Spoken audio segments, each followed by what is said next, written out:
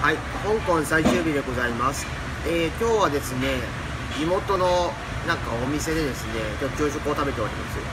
ちょっとこれ鶏肉なんですが、ちょっと食べてみます。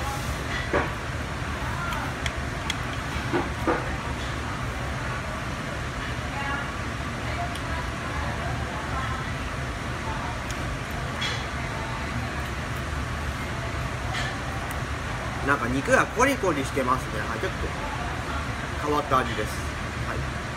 はい、はい、これで香港旅行は終わりです。これから日本に帰ります。